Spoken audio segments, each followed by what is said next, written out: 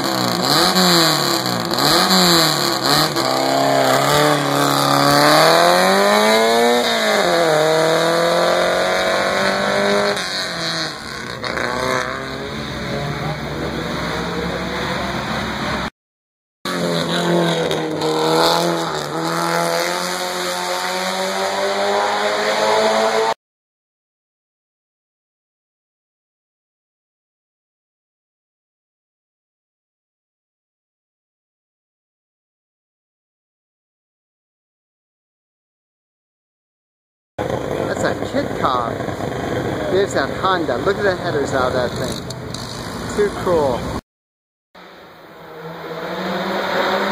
Which I It was a car I built for my nephew years ago.